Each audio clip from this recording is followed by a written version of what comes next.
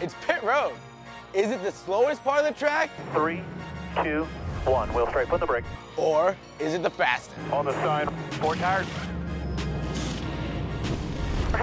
All the way out. Passing doesn't just happen on the racetrack. On pit road, races can be won or lost. Fractions of a second will determine whether you go home empty-handed or with the hardware. This year, NASCAR has brought the Pit Crew Challenge back to the All-Star race at North Wilkesboro. Get them guns ready.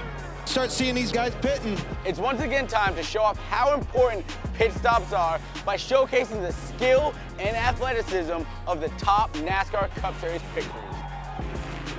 Just like you see every weekend, teams will be making four tire pit stops. One big difference to account for though, pit road speed doesn't matter. There will be no pit road penalties for speeding. The 12, too fast on pit road. Oh my gosh. Time will start one box behind the designated pit stall, and it'll end one box after the designated pit stall.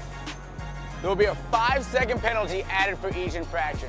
So don't let equipment out of the box, and don't jump off the wall too early. Is that our tire rolling away? Yes, sir. But a loose wheel is instant disqualification. But don't worry, fellas, you won't get suspended this week. But most importantly, the results of the Crew Challenge will decide the lineups for the All-Star Heat races and the All-Star Open. Pit don't always get the recognition that they deserve, but you're gonna see through the Pit Challenge just how athletic they really are.